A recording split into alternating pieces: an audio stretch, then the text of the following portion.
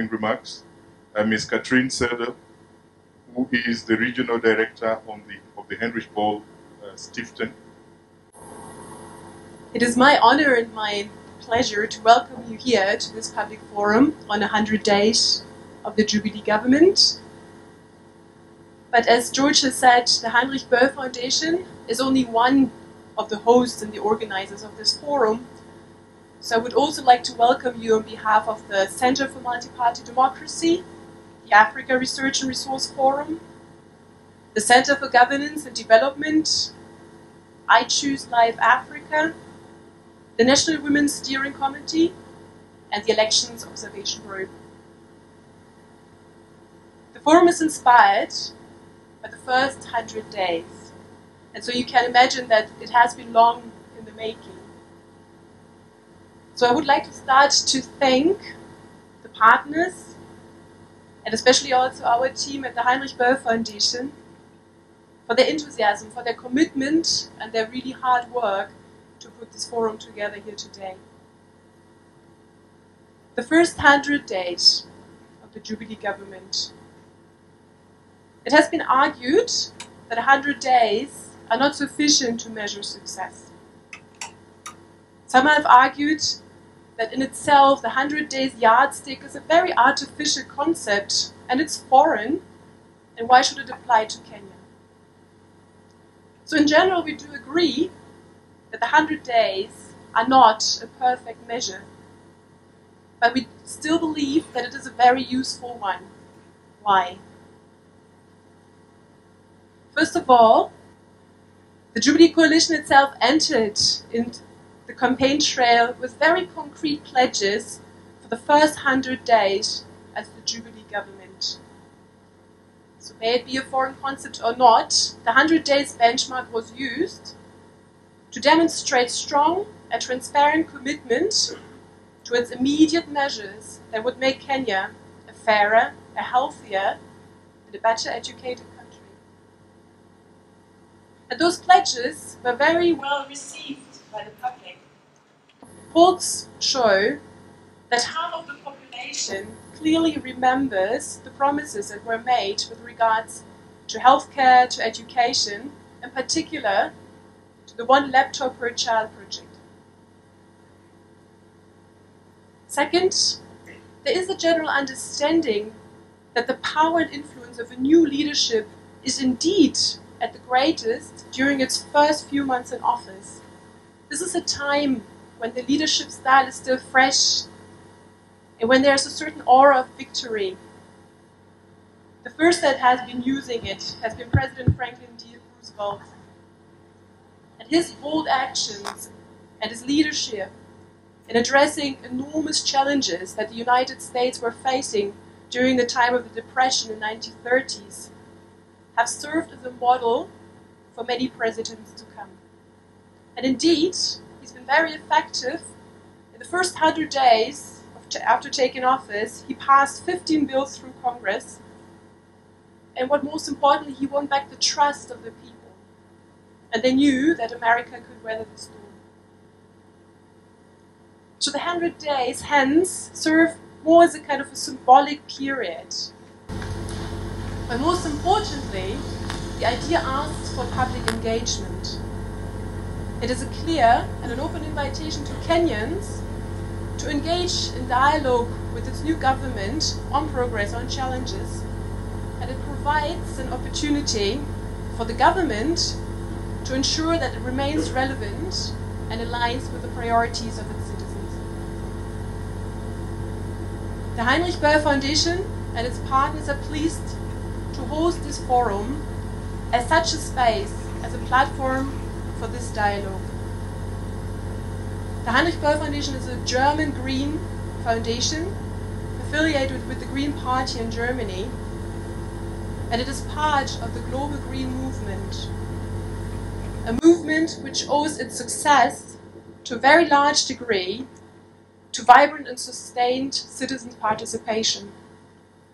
So I'm really happy to see you all having come here, honoring our invitation.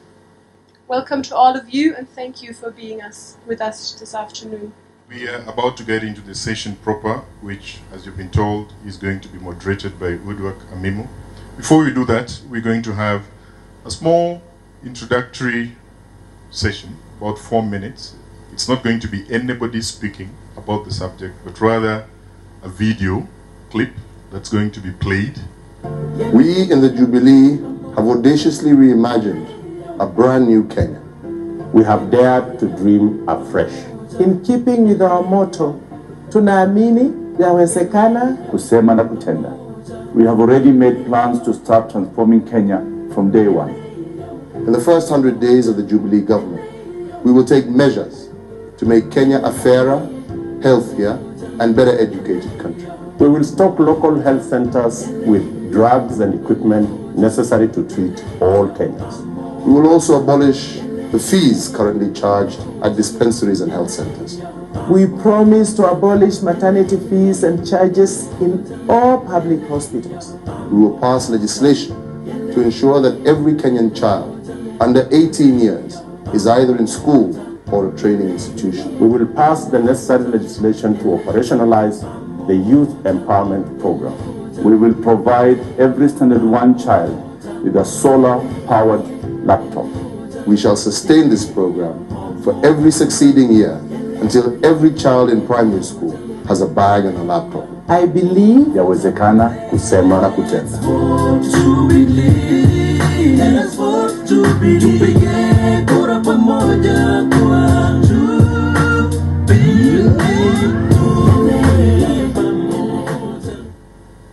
Thank you very much. There you have it, ladies and gentlemen.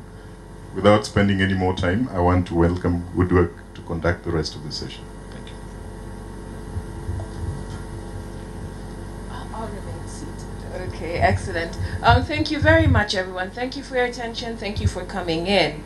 And so, as um, Ms. Katrin uh, said, we have an anchor piece, which I believe you have in your folders, and that will be presented to us uh, by Dr. Godwin Murunga, um, who is a senior research fellow um, at the Institute for Development Studies at the University of Nairobi. He's going to take just about 10 minutes of our time, and then we'll come to the panel to hear their perspectives on the 100 days of the government um, as we know it. So, um, uh, without further ado, Dr. Murunga. The first thing I want to do is to dispel the expectation that this is an audit of the Jubilee government in 10, in, I mean, in 100 days. Uh, the president has already made his plea on this. Uh, in his own words, he said, You don't get two people married and then you expect a child in three months. Um, that was his powerful plea that uh, he needs more time, the government needs more time, and I think it would be unfair for us to expect anything different. So, what I want to do is not to conduct an audit of the achievements, the achievements in 100 days. What I want to do is to begin to look at what the emerging trends are and what they tell us about the future. And I want to do this with the knowledge that we are dealing with issues to do with governance, we are dealing with issues to do with uh, development. And none of those things is an event. They, they don't happen instantly, the way you would say uh, pesa pap, for instance. Uh, it's a complex process. Uh, you make gains, you lose, you wake up and recollect for the following for the following day and all that. So what really is, is important to me is to put on the table the idea, the analysis that we need to make of the 100 days of Jubilee government uh, is important as a way of beginning to look at the trends and begin to understand where we are going as a nation. What were the key promises that were made by the Jubilee government? The, the, the, the, the, short clip uh, basically highlighted, of course, the maternity fees have been waived. There's an element about free access to clinics and dispensaries that has fallen off the radar. Uh, it's important that we begin to professionalize some of our thinking around these issues, especially in terms of how you turn a campaign promise, waive the fees into a long-term sustainable and well thought out program that begins to address broader issues in society rather than just uh, look, look, uh, you know, a very quick, quickly implemented thing. The debate around laptops is still with us. It's going to be with us for a very long time. uh, Mugo, I think Mugo will talk about this because I read in his article that this is really the basis for the development of the e-system of digitizing government and all this. Uh, it is going to be a huge debate. I think we need to think about the laptop issue a little bit more than we have done so far. I'll be very brief. I've just gone through the paper, and thank you very much, uh, Godwin, for I think a pretty fair, you'd agree, um, assessment of the first 100 days because we want a candid assessment. Um, comments. Uh, I did pen an article, that's correct. And I want to start the way I started my article on Sunday by saying that devolution, or rather the process of moving from the old system of government to the new system of government, is unprecedented. Yes, we passed the constitution about three years ago, but the fact of the matter is that the true and real transition, especially in terms of governance, began after the election.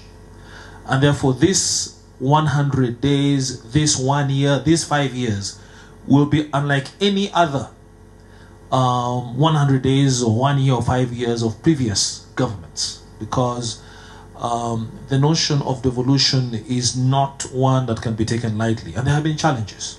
So I would start by saying that you cannot make an assessment of the first 100 days without acknowledging the challenges of devolution. The fact that none of us, not the president, the government, not the National Assembly, uh, not Kenyans in general, really were, would have been able to um, anticipate every single uh, uh, development uh, under devolution. The initiatives towards Mombasa Port have been, I think, in the first 100 days unprecedented. I think we have seen a lot of focus on making the port of Mombasa much more efficient. Um, you know, giving also the MD of KPA command and control, getting the Commission of Customs to be resident in Mombasa, ensuring that the uh, the route from Mombasa, Nairobi to Malaba to Kampala, including discussions with the presidents of, of Rwanda and Uganda. There's a tremendous focus already in the first one, and and, and clearly. Um, the fruits will begin to emerge very, very shortly. On the issue of the one laptop per child, I think it will be uh, I think I would be less than honest if I was to make a if I was to avoid commenting about that very controversial project. Look, first I want to say this: the fact that in the most remote corners of Kenya, whether northern Kenya as far as Turkana, Mandera, whether uh, you know Isebania, Kilifi, Kwale, the fact that in the remotest parts of Kenya parents who three months ago had never heard of the word computer, let alone laptop or tablet, are now engaging in debate about it because they all have kids, is already a victory for that in terms of the paradigm shift. Vision 2030 is about the year 2030. Transforming Kenya is about transforming this country by the year 2030. What kind of a world will seven year olds today you know, a seven year old kid in 2030 will be 24, 25. That means they'll just begin, be beginning their work life. In what world will they be? I'll tell you something. We have no clue. We have no idea, and we should pretend. We should prepare them. And the paradigm shift required to make sure that regardless of where you were born, whether you're in a classroom under a tree or in a classroom such as this, you need to be prepared for the E age, for the knowledge age, because the world will be one little global village and it will most certainly and firmly be an E, an IT, a knowledge world, a knowledge economy in which anybody who cannot fit in will be obsolete. So the paradigm shift is important. I also think, and I indicated that you should know that under Vision 2030, we've got programs such as digitizing the entire government the entire system, so to speak, over the next five years. Lands registry, company registry. The way you run your life will be electronic. And the private sector, and Carol will confirm, will respond in kind. In fact, in many cases, the private sector is ahead. So your whole life will be an electronic life. So if you're seven years old today, that's what we should be preparing you for. Um, I, I just want to react to only one subject in terms of presentation of Dr. Murunga the issue of devolution. I'm not a guru of devolution, as uh, is peddled sometimes. I'm a student of devolution. Uh, and I'll tell you why in a short while. First of all, I think um, I agree with uh, Dr. Kibati that these 100 days should not be so much about uh, how much has been delivered, but basically about what planning structures have we put in place and whether those structures, whether the planning, whether the structures we are putting in place are proper enough to enable us to respond uh, in the long, many years um, down the line on issues that we are supposed to address as a country. We have a very difficult uh, responsibility of one deciding to go for the quick wins or establishing a foundation that will ensure that either you know the counties are going to stand for 50 years you know the biggest problem in this country is that everybody everybody wherever you go they want to threaten you with a re-election of 2017 so the only thing that one day even the citizens want to preoccupy the minds of politicians with is that wait 2017 you will see you know now, if we are going to do things because of 2017, it is so simple. I'll stop doing the things I do in this house here. I'll look for little money. I'll be busy like a broker out there, get some little amount of money, and I go around Elgeyo Marakwet doing fundraisings. Then 2017, I'll be re-elected. But that will not, uh, you know, lay a proper foundation for that county or for the country. So we need to ask ourselves the first question: Are we doing things for re-election? or we are doing them for posterity? Are we leading because we want to be re-elected or we are driven by compassion? Must we be re-elected? That's the question. So if we are looking at the manifesto, the policies we put in place, we must be able to think about uh, we should do these things not because we will be asked 2017 that you promised and you never did, but we must be honest to our people. If we need to change something, we'll say we'll change it uh, because it matters, it's better for the country. That is my, my take on these issues. I, am really against this, uh, this idea of 100 days. i tell you why. When the NARC government was formed and I was Minister for Planning and National Development, uh, that somehow we had made the mistake of saying we will do certain things in 100 days. And then I was Minister for Planning and then after two weeks, Tom Owuor, who was the CEO of Federation of Kenya Employers, calls me and said, have you created the 500,000 jobs that you promised? So I thought he was joking, but he wasn't joking because he kept on like that systematically for the next couple of weeks until I was forced to go to his office on the hill to sit down with him for three hours to explain exactly what we're doing. I think what we need to do uh, when people come into government, uh, and I'm, I, am glad somebody said that election manifestos are promises.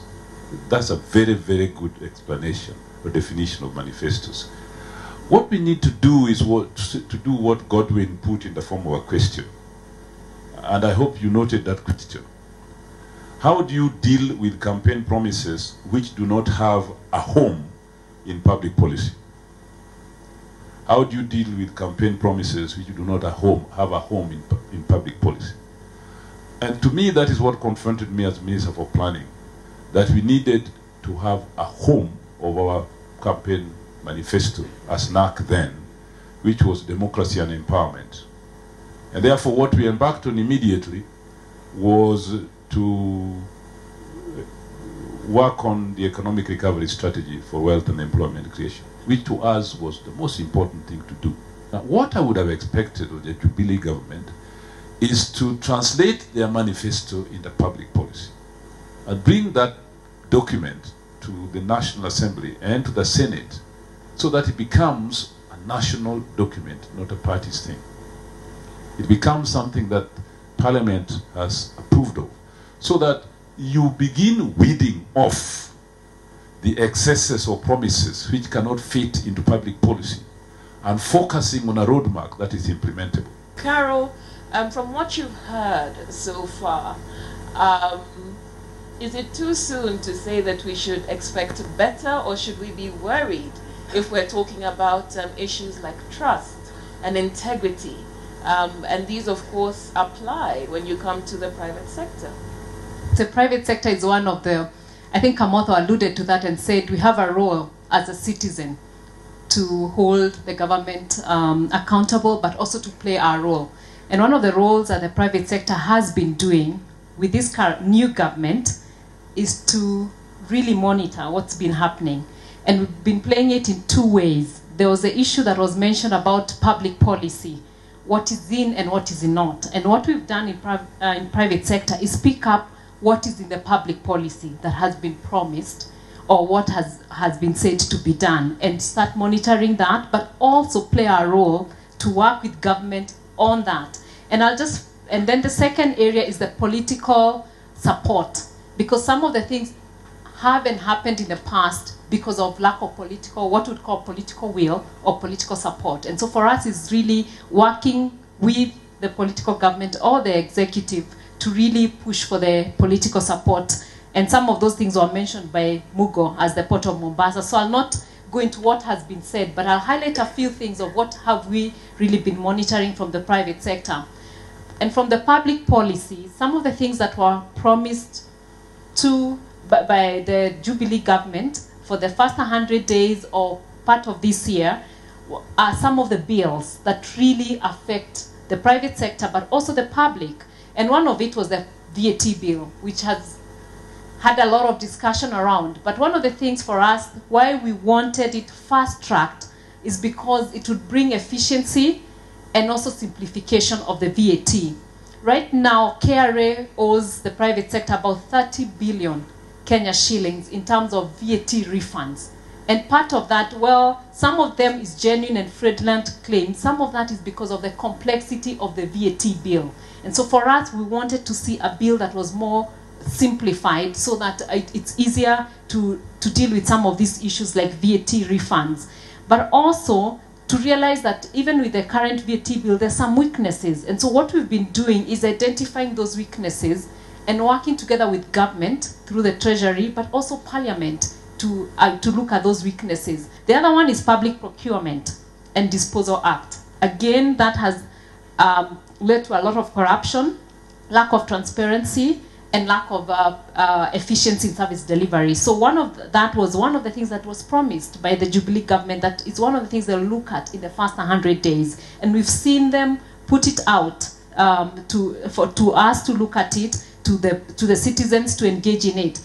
One of the, um, the thing that um, needs to that needs to be included that hasn't been there is local participation, especially in the, for the youth, the women, and the MSC entrepreneurs. We've talked about and what was mentioned is the current the new youth fund and the women fund that now has a framework to be institutionalized at CDF level. But part of that is to ensure that the the goods that are procured come from these sectors. And so the, the reason for us to look at the Procurement and uh, Disposal Act was particularly that to see that there's local participation, but it's reviewed so that it, um, it, it's reformed, the systems are reformed to, to, to allow for efficiency. And I want us to look back at the campaign time, where every political party was saying, we are youthful, we are digital. It was fashionable to be young then and the language of competition was edge. And see what the young people did in the political parties, formulating manifestos, doing the public relations, writing speeches, everything about the campaign. They delivered to a large extent. But after the Jubilee government came to power, of course, everyone's, almost everyone's expectations was that young people will take a larger chunk of some of those senior positions. But then, see the whole cabinet, no person is young. Principal secretaries, no person under 35.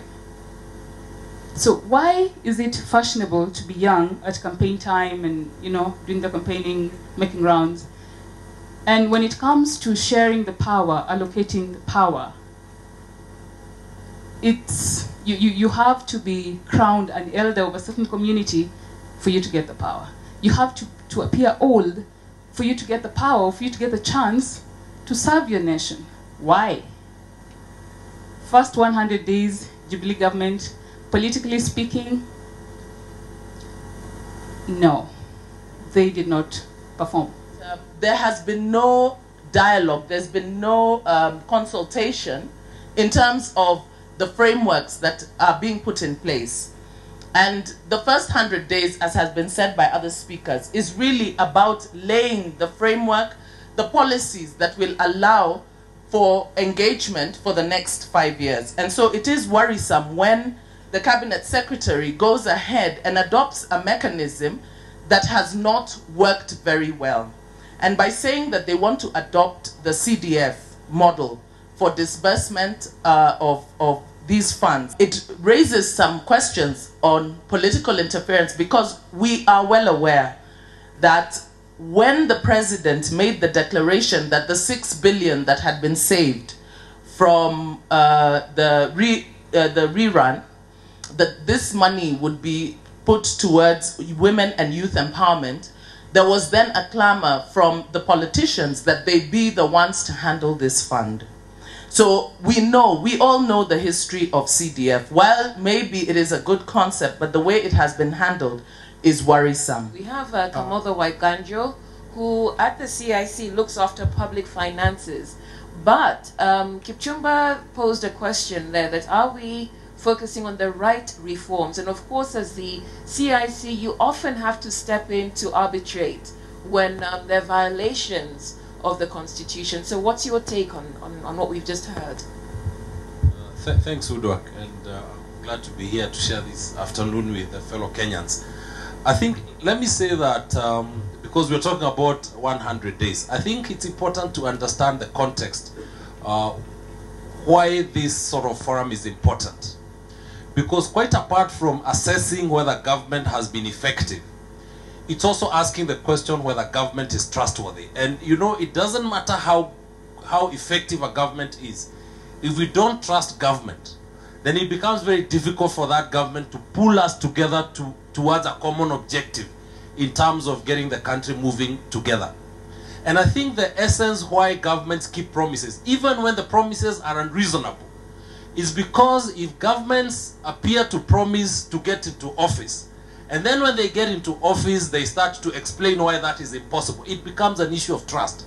And so sometimes governments will proceed with an issue because it is more important sometimes to keep trust than to be right. You know, and especially in a context like this, where over years governments have lied and then always explained why this is impossible.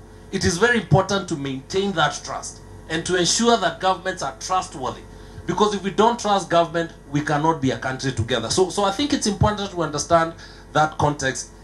Governments, it's also important that governments set the right tone. It doesn't matter how effective the president of Kenya is. If he doesn't set the right tone for, for, for nationhood, it doesn't matter which other very nice programs are going to happen. The reality is that as a country we will not be moving together. So I think this, uh, these 100 days is not always about whether government has accomplished in terms of development programs. It's also whether government has set the right tone. And that's a question which we should be asking. Is the gov does the government look trustworthy? Especially in a country which is divided right down the middle, because that is how Kenyans we vote. We vote generally right down the middle. And our elections probably for some time are going to be contested elections, naturally. So it's important that that, especially for those that didn't vote, vote for a government, feel that this is a government that we can trust. So, so let me say that um, it, it's important that we recognize that the Constitution introduces many challenges. It comes with many challenges. But good people, the good thing is that we are now a nation which have a disagreement on ideas. You know, you know, we're having a contest of ideas, which is a good thing. Nobody says devolution should not, the, the only difference we're having is how should it be sequenced? What should come first? What sort of power should be there? How do we manage budgets? That is a great thing for us as a nation. And let us celebrate the fact that for the first time in this country, we're having a consistent discussion on ideas and how well we can improve this country. So I pray that uh, this discussion will also be a discussion that comes from our colleagues so that where there are challenges, we own them and not get to the point where we just ask what government is doing. What is government doing? The constitution has given so much responsibility to the citizen that you have no idea. The opportunities given by the constitution must be used by you. So that when we fail, you have an opportunity to hold us accountable. Thank you very much. We will now um, take your questions. I, I'm, I, I want to direct my question actually to one of them, this Carol Kariuki of private sector, because I work with a private entity. and also another one to whoever comes from the Senate. Please, organizers of this particular event could have also organized to have an MP so that we can have this kind of discussion more elaborate. The public policy about the six billion shillings, they, they say that they were going to allocate to the youth and the gender. Do we have anything clear that we can learn from as we are concerned in the 100 days that has passed? Then secondly, to Carol.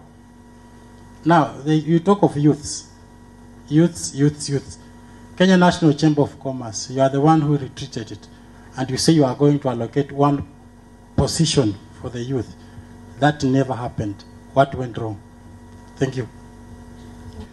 Women are known to be, or has been posited as the enemies of their own. How do you handle that? A case in example, Kathy was supposed to be running for senator for the first time, but she was taken out by a lady. Another question goes to the senators, the two senators. You admitting you you're admitting clearly well that the people as well as yourselves do not seem to understand the gist of devolution. But we are in a position whereby each and every person talks as if they are experts of devolution. When are you going to educate yourselves properly well, as well as the people who are down in your various counties?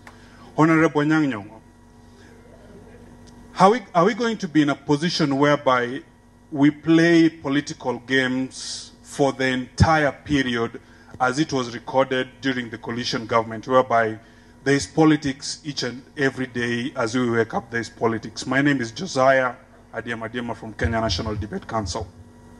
We have a case whereby the registrar of political parties will always allocate some money for some political parties, probably the most successful ones. But here comes a question of count- accountability. How does the government ensure that each political party caters for the interests of the students, the plight of youths, and the plight of girl child, and the needy? Thank you. Thank you very much. Uh, let me attempt to answer your question by responding yes, KEPSA is the apex body, and the Chamber of Commerce is a member of KEPSA. But for every association, they have their memorandum and articles of understanding. And so they do decide how they're going to do their elections for their board. So I'm not able to say that the Chamber of Commerce did say they're going to have a member of the youth in their board. Uh, in their board, I can only inquire and find out if they had committed to do that, and if it was in their M&A, why they did not do that. Steve Biko's question, it was not asked to anyone in particular, about the law on political party funds. I think uh, the Political Parties Act is the one that provides for how the funds uh, for political parties are supposed to be used. One is I would imagine that the youth are members of those political parties before they can benefit from the funds of political parties. Two, that those funds are generally supposed to be uh, to help with the infrastructure of running the political party. Three, I would hope, therefore, that the youth who are members would therefore also be part of the structures that determine how that money is utilized. Because the political parties registrar, who's the accounting, uh, who sort of uh, has the accountability mechanism, only looks at the budgets of the political parties, sees whether they fit within the law, but the process of approving those budgets are, are dependent on the members and the officials they elect. So for the youth to be able to have uh, benefits, because these are institutions, for you to be able to benefit from the funds that are granted to political parties, membership, officials, then you can determine how monies are used for the benefit and welfare of the youth. But that depends on how the structures of the political party, and I would suggest that the youth get a little more involved in political parties, not just during campaign season, but in terms of managing them uh, when, especially soon after elections, when the focus is away on the parties. Uh, that may be very, very useful in terms of ensuring funds are properly used. Okay, Professor. Nyo- Ask me about politics. Politics must be there all the time. But don't think that people only play politics. People do a lot of other things. They enter planes, travel, they farm their farms, they they come to meetings like this. It's a myth that people play politics all the time. I don't do that myself, and I'm sure Makomen doesn't do it. And uh, secondly, senators know a lot about devolution, by the way. If, if Prince Makonde was humble enough to say that he's a student devolution, that is his nature. He has to be humble. But of course, being a student means you are learning. Nobody, learning is not a bad thing, by the way. I mean, learning is a very good thing. So, so if people say they are learning, it doesn't mean that they don't know. It's only that they want to know more. So, so don't say that if, if, if he says he's learning, he doesn't know. I mean, that's not good English.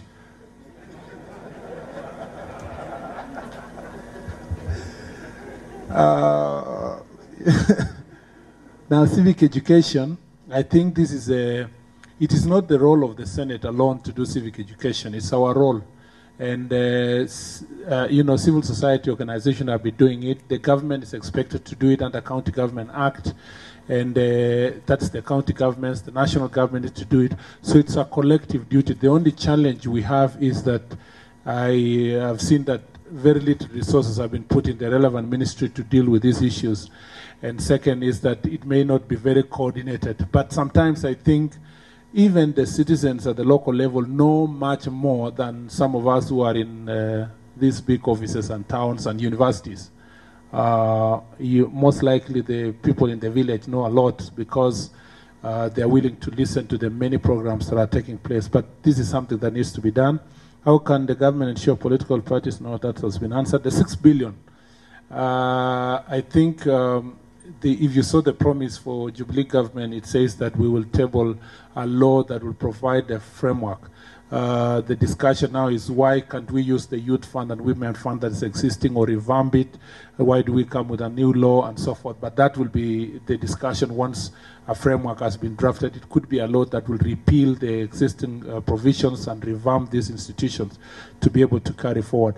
Last, what, what Professor said about uh, learning, when I said, you know, we must keep learning, is basically all of us to have that humility to be willing to accept that other people know and therefore take over the whole consultation process before we do things rather than just doing it. And, and let me say this with all due respect because I'm on record on that. Uh, I've always said if our chairman, our, our speaker at the National Assembly was a little bit willing to entertain the possibility that other people could know things more than himself, we would have uh, solved some of the problems that we are having between National Assembly and Senate. Um, thank you. Uh, on women being their own worst enemies. Um, first of all, I'd like to say that women are not homogeneous, okay? And I, I, I fail to see why, when women engage with politics, um, that suddenly they are considered uh, enemies of themselves. Nobody is saying that um, Evans Kidero, the governor of Nairobi, and Waititu are enemies, that men are enemies of, you know, their own worst enemies. I suppose because women, uh, there are fewer women in the political arena. So when women engage adversarially, um, it looks like they are their own worst enemies. But I think that it is important to note that they are not. It is simply a political contest. And that is how politics is structured. And I think that the case that you've mentioned is a case in and of itself, and it goes way beyond uh, women against women. It is uh, political parties fighting it out and issues of registration. Um, I wanted to mention about this thing of the political fund, apart from what uh, Co Commissioner Waiganjo has said. Um, it is true, you definitely need to be a member of a political party, but within the political parties Act, um, Section 26 of the Political Parties Act requires that all political parties use 30% of their funds to promote um, the, the, the participation and representation of youth, women, minorities, disabled, and ethnic minorities within the political parties. But for you to be able to benefit from that, you have to be a member of that political party. Of course, one of the questions that we need to be asking is who is ensuring that political parties actually use the funds for that because there is within the law a penalty that if political parties do not use that 30% for the intended purposes, then there should be a penalty. But where does this oversight belong? With the registrar of political parties who disperses that fund. So I think that that's really where the question is on being able to audit political parties on how they use the funds that they are given by the, the taxpayers towards uh, ensuring that political parties become uh, institution, that they're institutionalized, and that they actually promote the participation of all the people. Great, so that's the end of the panel discussion. Um, my thanks to this distinguished um, panel. It's been a pleasure um, listening to you and learning from you and hearing your different perspectives. Uh, thank you all for engaging, participating, asking questions. My apologies to those of you who um, weren't able to ask your questions. It was obviously a very good turnout, and most of you were very keen to participate. Apologies because the time was short. I'll now hand you over back to Mr. George Omondi. Thank you very much, um, uh, the moderator, Udoak, and the panelists. I am not going to attempt to summarize. I think our objectives as those who convened this forum, I can say here, have been achieved. We have had very important contributions, beginning with the declaration at the start that it is not very easy to assess a government within the first 100 days. I think I will be I will be messing it up if I attempted to, to, to summarize or even recap. I don't know whether by now you've made a decision whether how the government is doing. Is uh, how would you rate uh, the government from this discussion? Have you concluded or are you unclear even? If you are to give it a, a score of 10 out of 10, how many give the government 10 out of 10? If you could, please lift up your hand. Okay, no one. What about 9? How many give 9? This is basic Sinovate statistics. What about eight? How many give eight? Nine? Seven? Oh, there's one? Oh, there's one courageous. Okay, two, three hands possibly. What about six? Six. How many give six? Maybe about ten.